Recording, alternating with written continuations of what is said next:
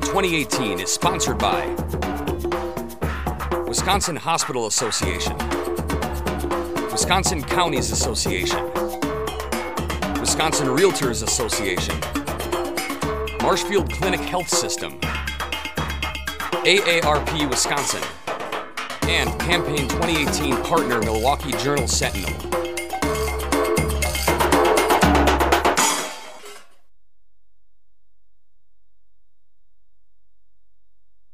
Republican Representative John Nygren of Marinette is seeking re-election in the 89th Assembly District. Representative, thanks for talking to Wisconsin Eye. It's good to be with you, Steve. As a co-chair of Joint Finance, where do I begin on some of these major issues? I have an idea. How can we go forward and break the impasse on transportation highway funding, Representative? Well, I mean, it's something that even in, when we're not in session, it's something that's of interest to me. I actually just had a conference call yesterday with somebody who brought up uh, a concept we hadn't considered yet that uh, I, am exploring. Um, kind of a. You want to make news and talk about it? No, oh, uh, well. not, not quite yet. But I, I, I think, had to ask. Yeah, I okay. think I think that's the uh, that's where you need to do to, to go to be able to lead on an issue is keep looking for new avenues uh, where not only my colleagues in the legislature will accept, the governor will accept, uh, but the, uh, the voters as well. Well, what's your starting point? I mean, you're going back to Representative Kooyenga's plan. Uh, are you, again, talking about a gas tax increase? Is tolling still seriously be considered? So um, I think my, my general position has always been you know, we should consider it all. Um, Representative Kooyenga's plan, I was supportive of that. I think that was a uh, you realizing the political realities we're in, where the governor's position not wanting to raise taxes and, and without some type of trade-off, I get that 100%. I'm a conservative Republican. I've never voted for a tax increase in, in 12 years. Um, you know, so I, I get that uh, that principled stand. Yet, you know, we have to find a pathway to be able to solve this problem. Uh, in transportation is not only important for safety, but it's also imp important for our economy. When we've done, we've taken so many important steps to improve our economy in, in Wisconsin. You know, the growth of our transportation system has to be on the table. You've had a little bit to think about tolling. Is it a serious starter?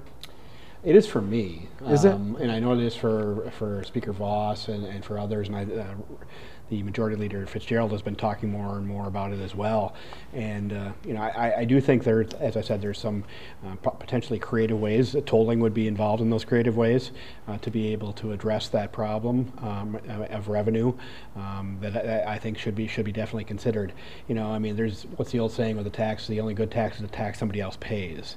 You know, my constituents in Northeast Wisconsin um, may not be huge fans of it because they, they, deal with Illinois, but I, I do think that the, the polls I've seen it's it's one of the ones that would be broadly accepted. Um, it's you it's a true user fee. If you don't uh, use the system, you're not going to pay. Well, just a quick follow up. What about the investment in setting up the, the well, I, those I, numbers are pretty large too, aren't they, Jim? They, they are, but not as large as they would have been. I mean, I think okay. the perception of people is that you have to create all these toll booths and all those type of things. Over the road tolling is uh, definitely something that's uh, less expensive and uh, could be implemented much quickly than the tr traditional tolling systems. Okay, new subject. The, um, the vote for tax benefits, tax breaks for Foxconn, and then the um, Kimberly Clark wanting the same uh, tax package. W where do you go forward in saying yes and no to helping private companies, Representative? Well, where I go um, is, you know, you know if, the, if you were a somebody who was uh, just a observer of what's been happening in Wisconsin, been happening in the United States over the last, let's say, just 40 years. Gradu I graduated high school in 1982. Um, I believe the last television was manufactured in the United States it, right about that same time. Now, not that Foxconn is just televisions, they're much more than just televisions, but if I would say to you that we're able to give uh, tax incentives based based on their uh, investment in Wisconsin, based on their payroll taxes in Wisconsin, to bring a $10 billion investment and, a thir and 13,000 jobs. I think most people would say, hey, that, that's a win to bring that technology to, the, to uh, Wisconsin.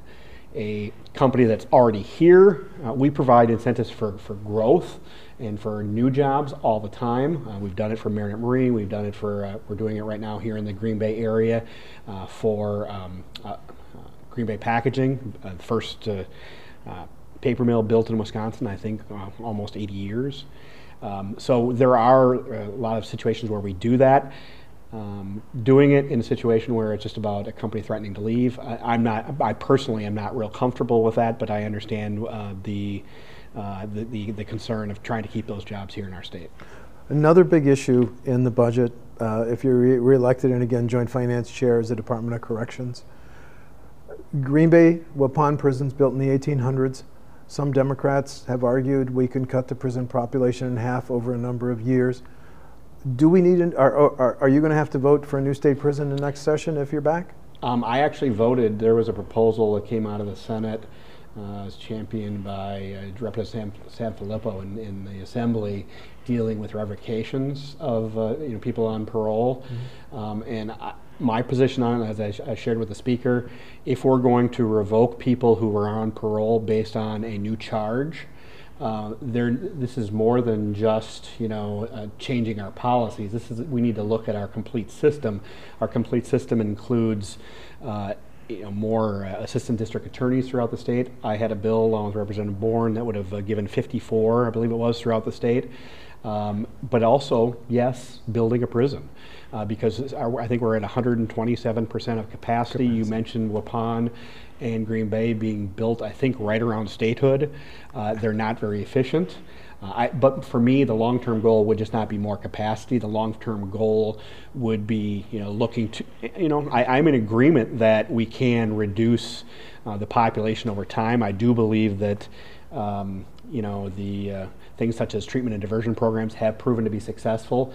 Simply saying we're going to reduce, uh, we're going to reduce to by half I think is a little too aggressive and, and would put us in a situation where people who committed serious crimes would be released. You shepherded a budget that included a, a pretty significant increase in state aid to K 12 schools. The, the question now is how big of an increase in the next state budget now that uh, it seems to me both Mr. Evers and Mr. and Governor Walker are arguing for two thirds. What would be the additional cost of going to two, two thirds? I don't have the numbers off the top of my head. I mean, I saw Tony Evers' proposal at 1.4 billion, but he also that was all pro, that, that, was all programs, including 600 million more for special ed. Excuse right. me for interrupting. Right, but uh, 1.4 billion dollars, um, you know, for, for education. But at the same time, he talks about repealing Act 10. I know that one that, uh, for the state uh, expenses because I've, I've looked into it just recently based on his his uh, statements. That's about $500 million uh, in, in, additional costs to the state. That doesn't take into consideration the cost um, to uh, the locals, uh, like towns, villages, uh, mostly cities, I, I think ha- would have those labor costs. Um, that makes it pretty tough to be able to balance a budget. So uh, my job is to be able to take the budget that the governor gives us and make decisions based on the realities that we're, uh, we're in at that point in time. Uh, if the economy continues to grow at 4%, which is kind of where we're at right now, uh, that, that's fine. I think we can pr- uh, provide an additional uh, you know, dollars for ed- K-12 education but that 1.4 on top of the 500 million uh, cost for re- uh, repealing Act 10, that's too big. That's too far. Uh, we can't get, we can't go there. Choice and vouchers have expanded uh, now statewide. Do you support further expansion? Well, I think where Excuse we're me. at right now, I'm, I'm comfortable with where we're at right now. That you know, basically, we have a statewide program, mm-hmm. um, and uh, you know, we've seen we've seen growth in it just naturally, and I, am comfortable with where it's at. Uh, that that's something that's completely uh, revisited. Uh, pretty much every single budget cycle. The last debate uh, was about uh, you know the, the income levels that that were would be allowed for people with um, you know with, with, with vouchers. So um, I, I, think for me, it's about uh, parental uh, parental choice, meaning me or you as a parent making that decision what's best for our child, uh, not about government placing those limits. Uh, I am actually comfortable in the long run doing something along the lines of basically just letting the dollars follow the child. Um, continue the UW system tuition freeze for a seventh and eighth year, Representative? Uh, you know, I'm a parent of a child in uh, in the system right now, so I mean it's been good. It's been good for us, and I think uh, as a family because we know what our costs are. Um, but I also um, think it's been good because I mean with all this conversation about student debt, you know, I'm not sure that there's an, even any program that could be could compete with the fact that I believe the average is about six thousand dollars in savings uh, to the average student over the last uh, you know four years um, because of that, that tuition freeze. Um, it, to me, it's all about the priorities of the budget and the ability to, to be able to afford those uh, those uh, decisions. Uh, I do think there's going to come a day. I said it last budget. There's going to come a day where that's not uh, financially feasible anymore. Uh, we've been able to make it. Actually, I believe the UW's uh, tuition account has actually grown over the last couple of years. And I think that's mostly attributable to uh, we're, we're paying more or charging more for outstate students and for higher uh, degrees. Uh, so we've been able to do it that way. I'm not sure that we're always we're always going to be able to do it that way. You've been the leader, the point person on the HOPE agenda, fighting uh, addiction and abuse of uh, methamphetamine, opioids, heroin. Next steps in the next session, John? Well, um, we've uh, we've come a long way. Um, you know, the the biggest challenge is continued um, uh, expansion of treatment um, making sure that we have more access, whether that, and people think of that as facilities. Uh, it's not always facilities. Oftentimes it's just doctors uh, being able to uh, have a willingness to take uh, people in it with addictions uh, for, for treatment. Uh, we're trying to set up a system. We're working on the hub and spoke right now. There's a commission studying how that would be implemented. The idea behind the hub and spoke in Wisconsin would probably look like a hospital would be the the hub, take uh, the person in who's suffering with an addiction, uh, stabilize them, and then release them to the spoke, which would be uh, most likely a primary care doctor who could continue to manage uh, not only in most cases drug assisted uh, treatment, but also counseling. So that is kind of the next big step that we're hoping to implement. We've already taken the initial steps. It's, it's, it's where we're going uh, in, over the next two years. Part of this debate are there proposals to legalize both recreational and medical marijuana. Where are you on that? Uh, you know, I live in uh, in Marinette. I'm right on the front lines of that because Michigan has a referendum right now. It will be on the ballot in November on recreational marijuana. Um, you know, I, I, am somewhat sympathetic on um, medicinal use uh, because of you know the obvious reasons, but I think that's one of the reasons why we passed the CBD oil. We look for other avenues there. Um, I am not a fan of continued um, availability of, mar- marijuana. Um, I do believe it's a gateway drug, and, and oftentimes I think the people that are making the decisions, people my age, might with maybe with a few gray gray hairs, might have been exposed to marijuana back in the day, and the marijuana then was different than it is today. I'm hearing up to seven times stronger, so I don't believe I don't believe it's a, a, a good decision for us to uh, go down that road. Local governments have been living with levy limits for 14 years to control property taxes. You've heard concerns from local leaders that it hurts their ability to provide local services. Continue with levy limits, dial them back, well, get rid of them? This is something that's been accepted by, I mean, both Republic, Republican and Democratic administrations over the years because it, it there, things were out of control. I think this is similar to um, the situation uh, with with schools where we, we've got the ability to go over the levy if, uh, you know, through referendum where it gives the voice to the, the local taxpayer and I, I, am would continue to support that that, that concept um, of giving that local taxpayer the voice um, you know to be able to decide whether the taxes should be raised in their communities or not. All the polls show that health care is a huge issue. Mm-hmm. Let me ask uh, a couple questions on that. How do we protect and expand health care in rural Wisconsin? Well, I'm leaving here and going to talk about that very same issue. One of the one of the ways is is uh, by getting more doctors practicing in, in rural Wisconsin, and we've done a, we've taken a number of steps towards that over the last couple budgets um, by um, investing in rural healthcare, whether it be uh, medical school in Wausau through the Medical College of Wisconsin or the one here in Green Bay, with resident with uh, investments in residencies in rural Wisconsin. The studies have shown that once um, you know a doctor actually practices in, in rural Wisconsin, they're more likely to stay in rural Wisconsin. So that's one way. Uh, but it, con- it, continues to be to even even more significant than just that access to uh, health uh, insurance. Um, you know, Obamacare has not been uh, what it was promised to be at the federal level. You know, keep your doctor. That's that we know that's not the case. We know that it was supposed to control costs. We know that's not the case.